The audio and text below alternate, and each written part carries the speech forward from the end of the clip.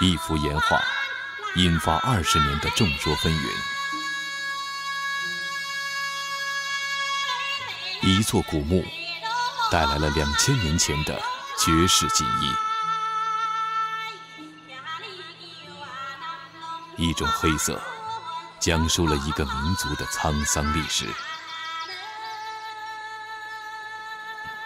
那支神秘的族群，在烽烟飘逝的千年中，演绎着一曲浮世的黑色绝响。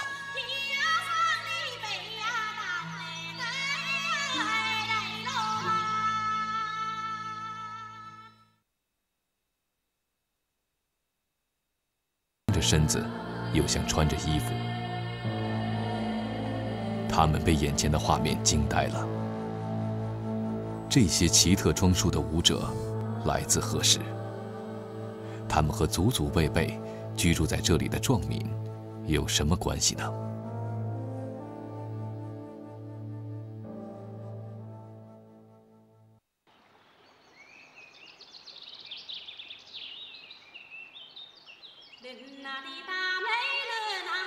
一幅岩画引发二十年的众说纷纭。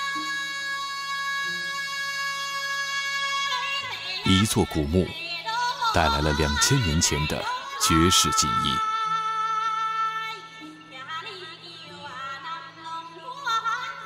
一种黑色讲述了一个民族的沧桑历史。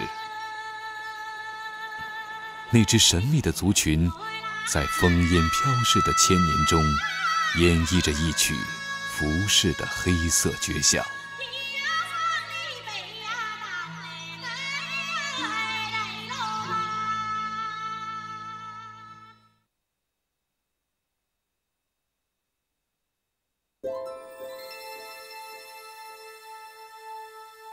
九七六年六月，在华山岩画发现二十年后，在广西壮族自治区桂县罗坡湾发掘了一座汉墓，出土了一块丝绸残片，让人们找到了解开华山岩画之谜的一把钥匙。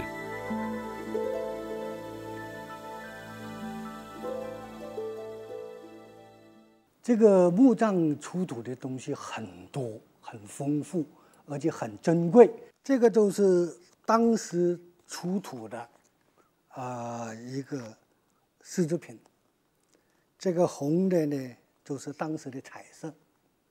但是它出来这个一见光什么以后呢，就氧化了，啊，就慢慢就碎了，后来就去不上。啊，这个就是当时的照片。墓葬。出土的这么多，啊，丝织品，跟后来就是宋代壮族出现的壮锦，应该有密切的联系。两千多年前的美丽壮锦，虽然只在专家眼前昙花一现，却让人们真实的看到了两千多年前壮族先民就掌握了高超的织锦技术。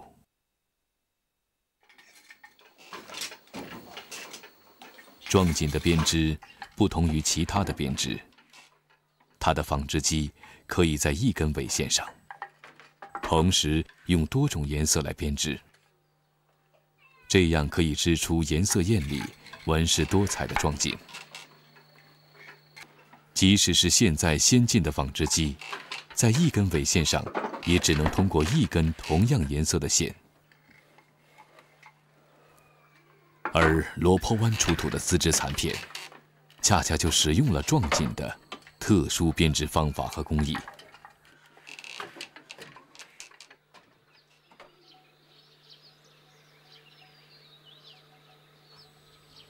专家通过检测发现，华山岩画与罗坡湾一号汉墓壮锦残片属于同一时代。岩画上这些穿戴祭祀的衣服和帽子的人，当时他们穿的这些衣服很有可能就是用壮锦做成。也就是说，早在两千多年前，壮锦可能就已经成为当时壮民身上美丽的服装面料了。出土的那些丝绸的残片，可以认为是壮族先民的一个创造，跟现在壮锦有很深刻的这种渊源的关系。那么同时的话呢，在我们湖南马王堆汉墓出土的那些丝绸，啊，就说相比起来，我们的壮锦并不逊色。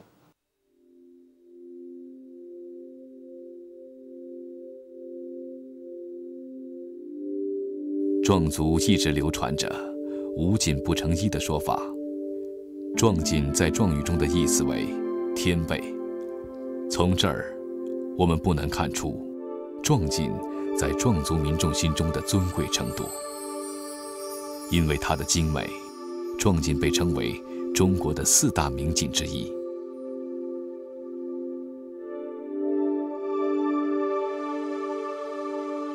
作为民族的骄傲。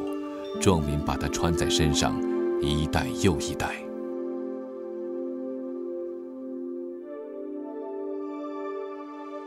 结婚是个大事，壮锦呢，在这个，在这个喜事里面，它是作为一种嫁妆，必须要有。啊，在嫁妆里面必须要有壮锦，就是要有背面，要有背带心，啊，所以在民间的话呢，壮族民间，它这个壮锦的运用啊。非常的广泛，就是一种缺少不了的一种产品，生活的一种必需品。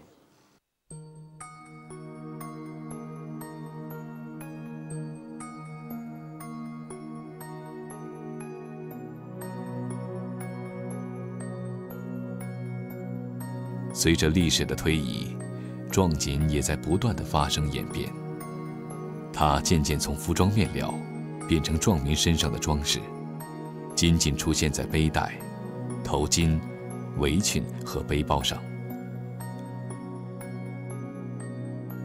织锦的织机和梭子慢慢变得不再那么忙碌了，但是它们却在静静地向世人传递着这个民族独特而悠久的审美情趣。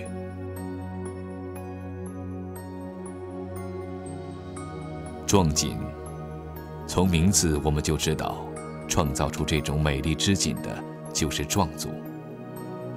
它是中国人口最多的少数民族。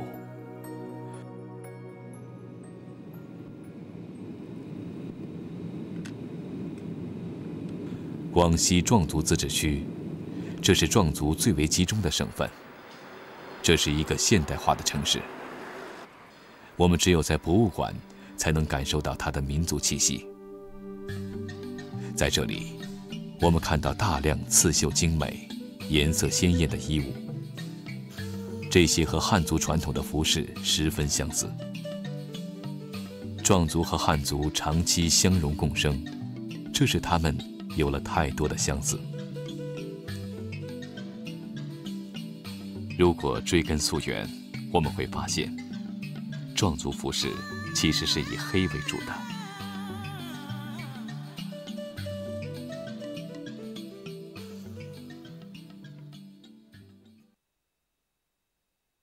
中国西南边陲的百色市那坡县，是广西壮族自治区八十多个县中壮族比例最高的县之一。据说，那里有一个地方叫吞里屯。那里人们的穿着保持了壮族服饰最原本的颜色。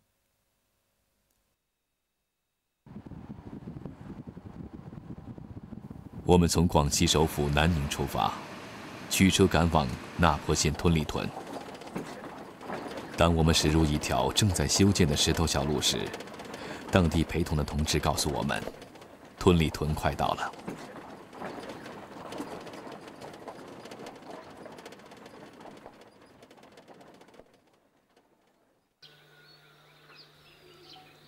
千百年来，大山使这里的人们与外面的世界隔绝。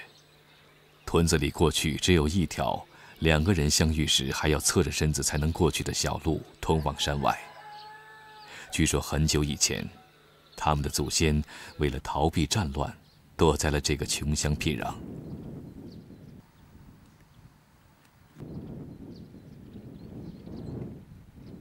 如今，在这条小路的对面山上，正在修一条通往外面世界的马路。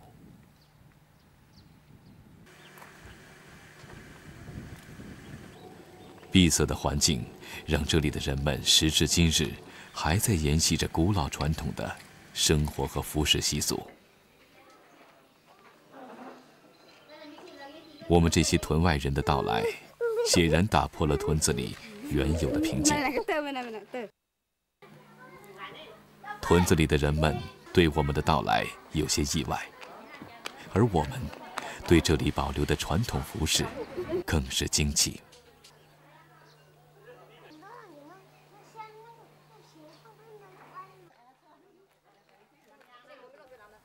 这里的妇女无论老少。都喜欢穿葫芦状的紧身短式上衣，下身搭配宽裤脚的肥裤，腰系黑布做的大围裙，头戴黑布大头巾，耳朵上戴着像小灯笼一样的耳坠，脖子上层层叠叠的佩戴着银项圈和银项链。这些银色的装饰在黑色的映衬下显得简洁素雅，同时更加突出黑色是这里的主色调。他们的名字叫做“黑衣壮”。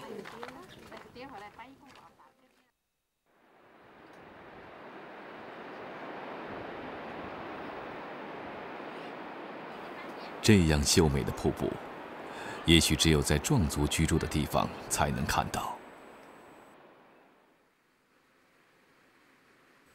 壮族住水头，这是人们对于这个民族居住地的印象。壮族是世界上最擅长种植水稻的民族之一。他们伴水而居，依水而存。水是壮族生活中最重要的主题。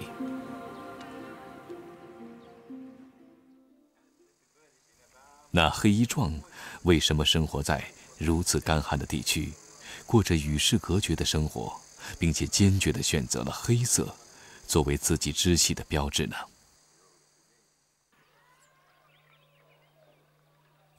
屯里屯，黑衣壮生活的地方。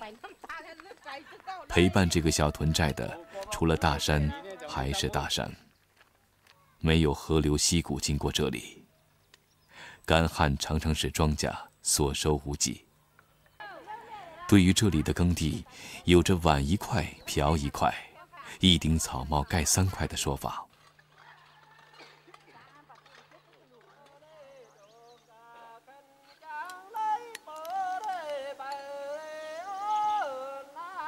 水成了生活在这里的黑衣壮最渴望的东西，祈雨成为他们生活中不可或缺的部分。他们相信，天上有了云，打了雷，就一定会下雨，这样就会有风调雨顺的好日子。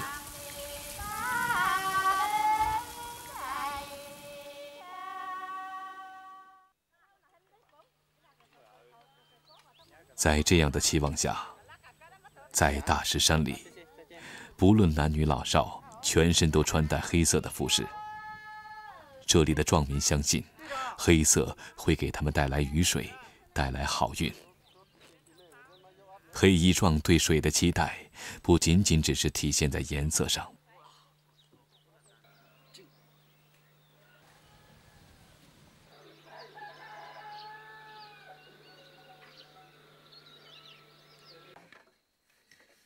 虽然黑衣壮服饰颜色以黑色为主，但是织绣。仍旧是黑衣壮妇女每天要做的事。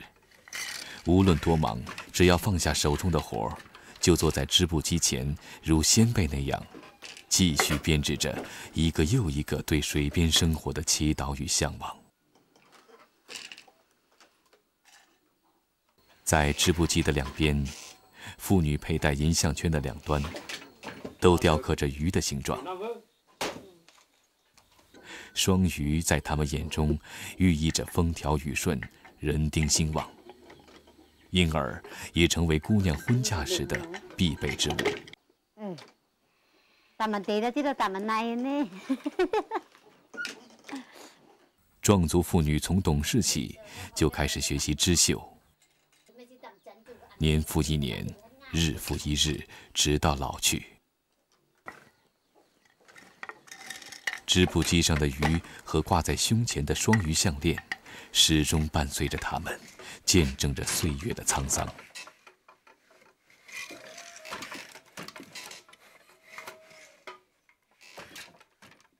我们住的地方，产很高，很缺水，所以呢，就我们在生活当中呢，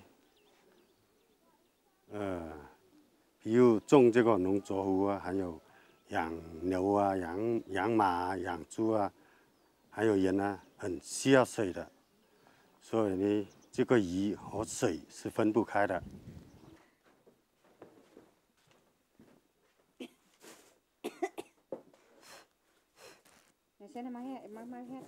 在黑衣状编织的服饰上，可以看到衣边、袖口和裙边用红、黄、蓝色丝线绣成代表水的波浪形线条，使黑中脱透出一丝清雅明亮的色彩。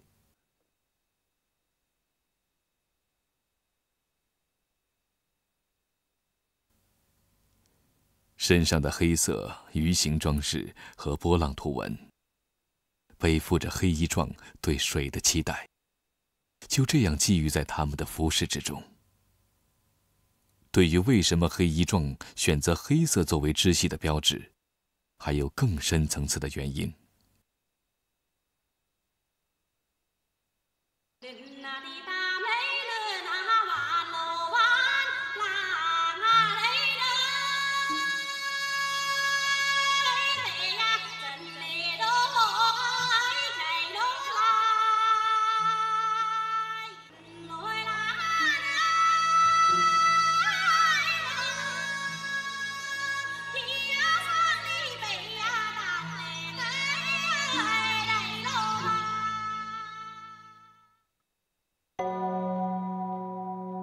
中国本土宗教道教有知其白、守其黑的说法。黑是思想的源泉，是原始淳朴的本性，是本源的家。黑衣状多数有信仰道教的习俗，也许就是以这样的信念，使黑色的服饰世代传承下来。而我们在当地采访过程中。对于这里黑色的来源，发现了一个更加现实的原因。你们拿这个可以拍到那边小小的人吗？哇，那边那么远的拍得到啊！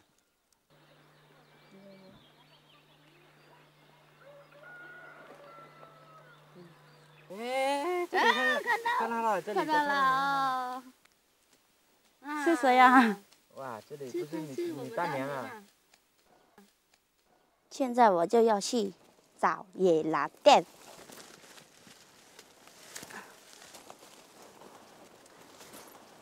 这里有一颗了，哎呦，两颗了。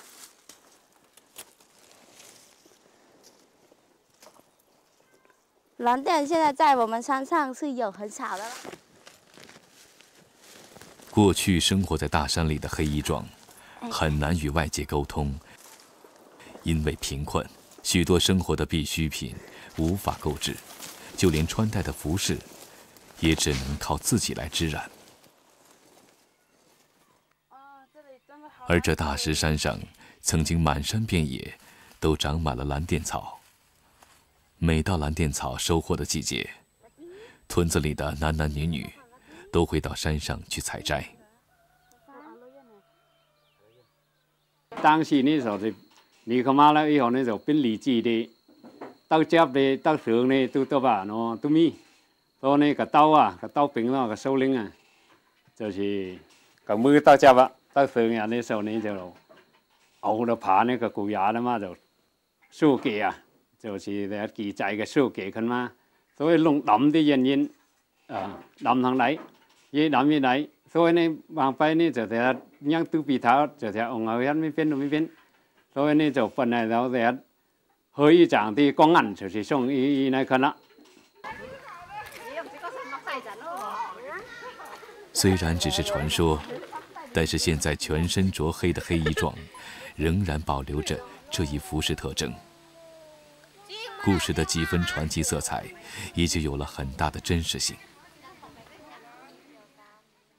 我们没有想到蓝靛会染出那么黑的衣服。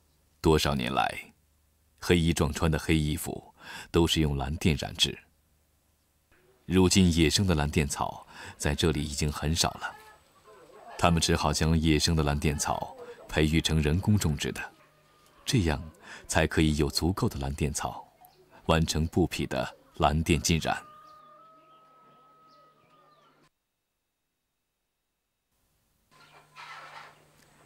在吞里屯，家家屋外都有一块由天然石块凿成的染缸，这些染缸都是祖辈传下来的。石壁上遗留下来的蓝靛色，向人们诉说着黑衣庄浸染的历史和奥秘。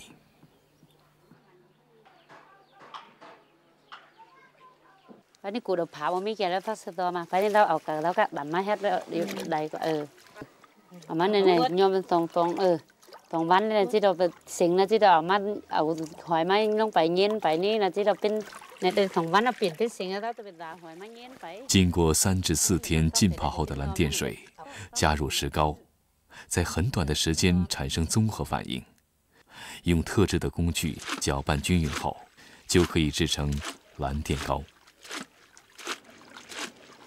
那个多嘛，就变多了呢。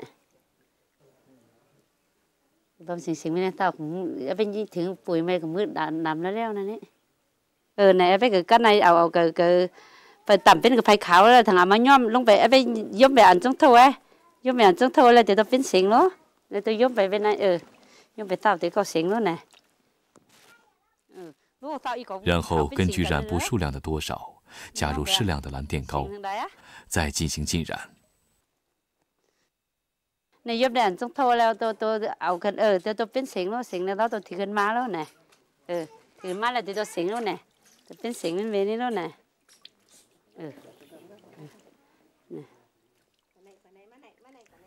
染成黑色之后，还要用牛胶、猪血煮染、漂洗、晾干，最后经过浆衣、折叠、晒干、捶打等工序，才能制出质地结实、 平整黑亮的布。这弄是这把染了呢，染了可能得用毛。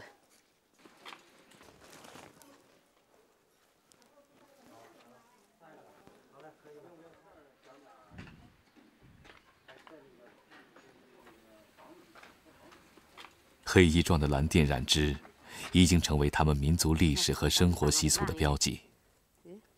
走在这个偏远的山寨，看家家户户房屋栏杆上都晾晒着一条条蓝靛布，布匹的清香阵阵飘散在山寨的上空。栏杆的线条以及黑色的布料，成为大石山区独有的风景。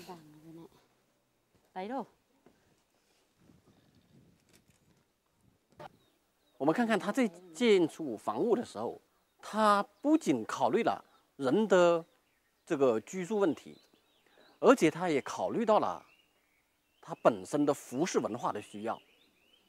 他在他的这个前面和侧面，他会建骑楼、建阳台、建晒台，来晾晒衣服和所染的布料。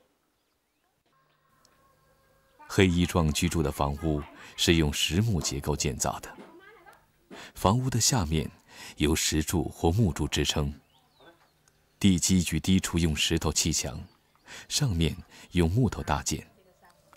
这种形式的建筑被称为干栏式建筑。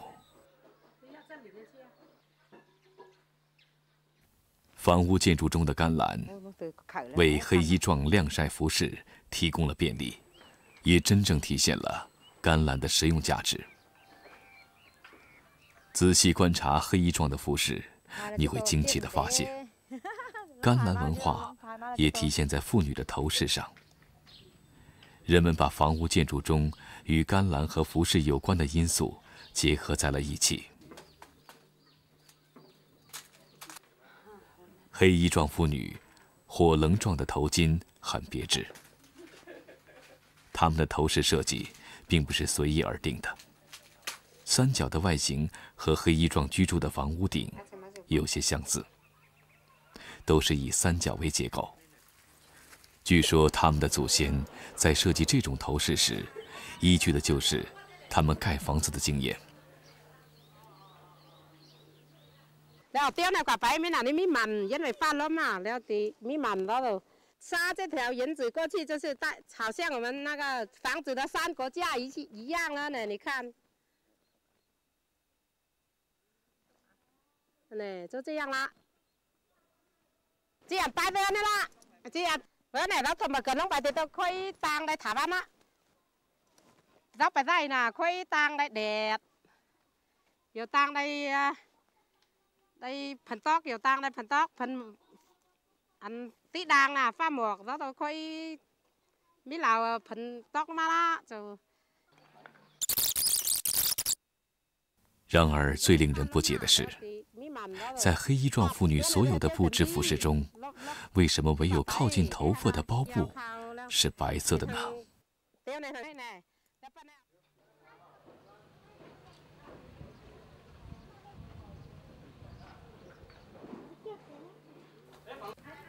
据文献记载，在明清广西土司统治时期，规定这里的土民只准穿黑蓝两色。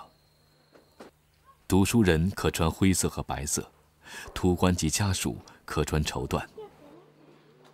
考中秀才的人可与土官一样。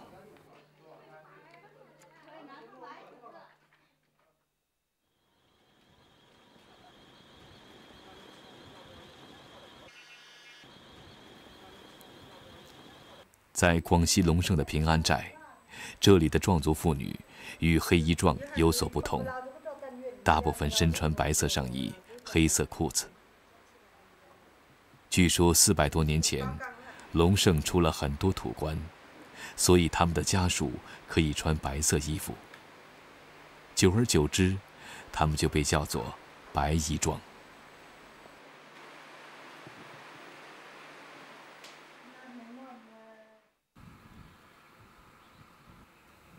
白衣庄的家乡因龙胜梯田而闻名世界。由于他们是土官的后代，白衣壮也就自然生活在水源充足、梯田半寨的风水宝地，主要以种植水稻为生。耕种时节，白衣壮常常根据蛙鸣来判断天气。在壮族农谚里有“青蛙叫，暴雨到”的说法。于是，在白衣壮的生活中，处处体现着这个稻作民族对青蛙的崇拜。壮族是一个有蛙崇拜习俗的民族，这从壮族的民间传说、花山岩壁画、铜鼓和壮族的青蛙节里面都可以看到这个和壮族服饰有关的痕迹。在壮族地区。每年的青蛙节，这个壮民们都要找青蛙、祭青蛙和葬青蛙。在做完这些祭祀活动之后，人们的话呢才开始每年的春耕。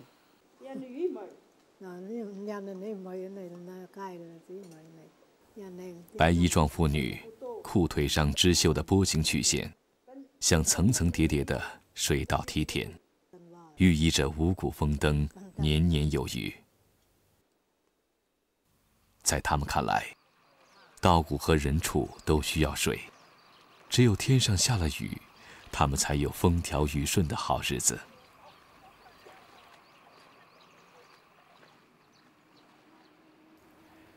对于水的祈求，是黑衣壮和白衣壮共同的民族特性。命运却给了这两个壮族支系。不同的颜色，那为什么崇尚黑色并且无法享用白色穿戴的黑衣壮，要在头上悄悄地用上白色的？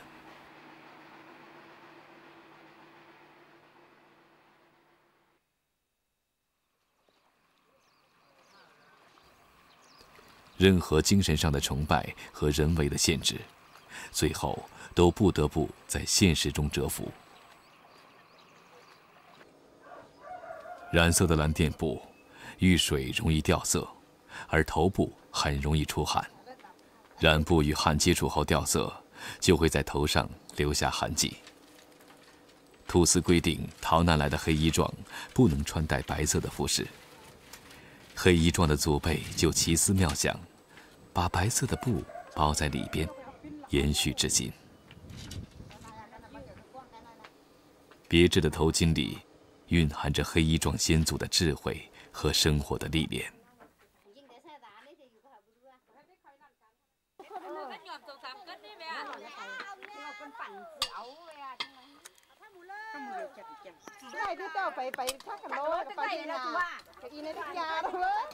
每到农忙季节，屯里的男女老少都集中在这里护理玉米。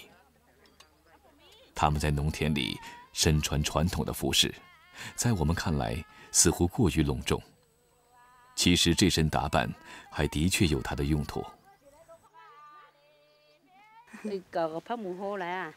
là tôi tôi căn khoang lại nó ừ, căn cũng nó là khoang lại là tôi vết thân nó. cái quen nó tôi vết thân bên đây mình bồi nó má với sừng bên nắp cái này khăn ừ. ừ. này. Nắp cái này khăn dạ, này nè nắp. Cái này khăn này bắt tổng tao chứ chặt phải chứ chặt ở cặp phong mũ luôn cặp phong phong mũ này ai tổ cái răng con đây lố nữa. này bên dưới xong áo lố chép này về là tôi bên dưới nó đất trồng mũ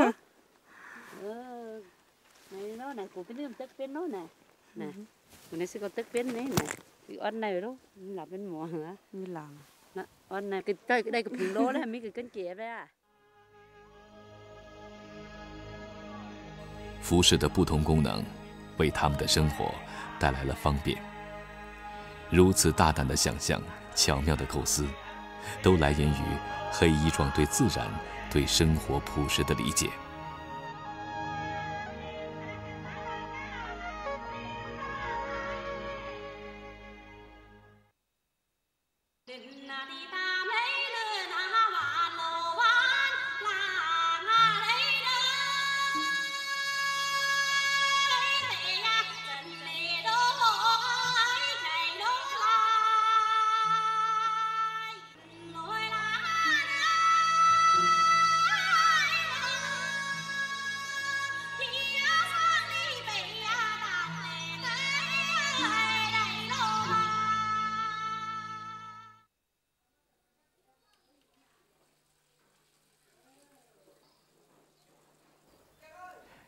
爱美之心，人皆有之，特别是对于风华正茂的年轻女人来说，更是如此。这种古老的美容方法，也许在别的地方已经不多见了，在这儿，可是这些妇女们每隔一段时间必须做的功课。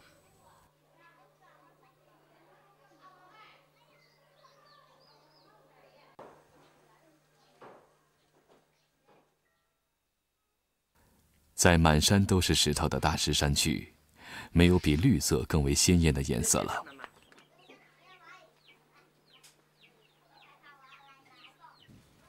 全身皆黑的黑衣壮妇女，人人都会的刺绣手艺，没有太多的用武之地，只能悄悄地把它全部倾注在全身最不起眼的小地方。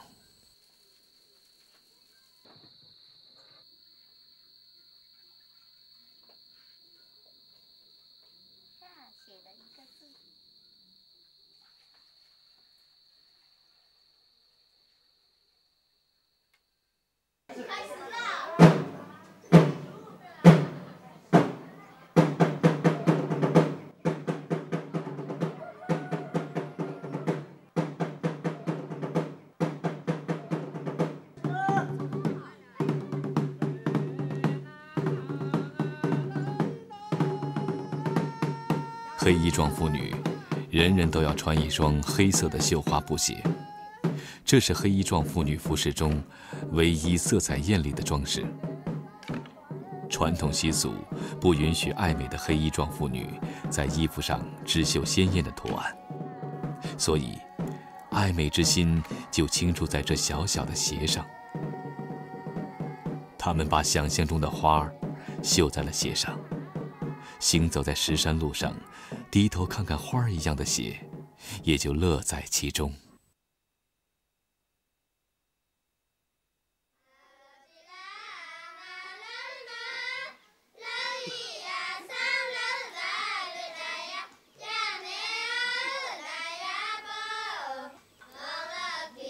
土地在黑衣壮生活的山区，可谓寸土寸金。石山中，只要有了黄土，就可以种庄稼，就可以带来财富。他们把朴实无华的希望寄予在随身的黄色小包上。凡是没有结婚的女孩，都要背上这么一个黄色的小包。他们把对未来美好生活的向往和这黄色小包。紧紧联系在一起。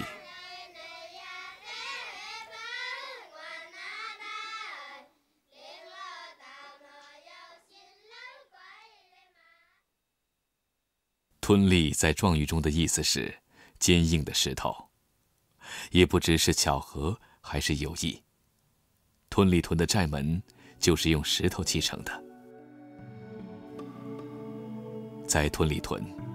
有很多用石头搭建的房屋，用石垒墙铺路，做石磨石槽，当然还有用石头做的用来染布的石缸。这些石头似乎在向世人昭示着，黑衣壮的意志犹如石头一样坚硬，他们的传统好比磐石一般不可动摇。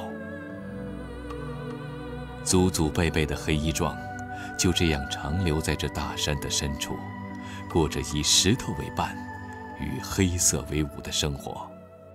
这是因为黑衣壮它是是生活在大石山区，四周全部是石山，所以的话呢，他就因地制宜，用这个石头来建成它下面这一部分干栏，基本上是用石头来这个。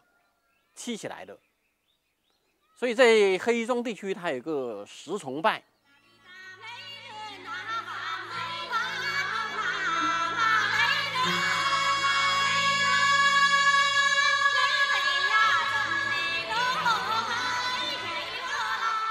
因服饰颜色而得名的黑衣壮，正在以他的服饰文化引来世人无数的目光，纷纷踏之而来。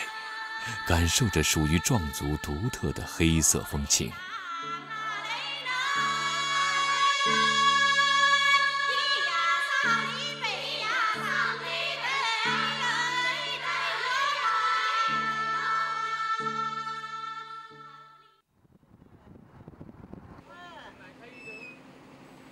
再过不久，通往对面山上的车道就要修通了。屯里人的生活不知会发生什么样日新月异的变化，在外来文化的不断冲击下，这黑色的民族服饰还能持续多久？这犹如磐石般的传统还能恪守多长？这个曾经沿着小路走出去过的姑娘，也许能告诉我们答案。以前没有路没有通的话，我们就是走，就是走到啊三个小时才到县城里面的。到外面就是买外面的衣服来穿，想爸妈想家就回来。那好不好？就是我们生在这里，好不好也是要舍得过咯。我们也是一年比一年就是老了。我们出去了然后再来接待就是。更加年轻来接待就是好过。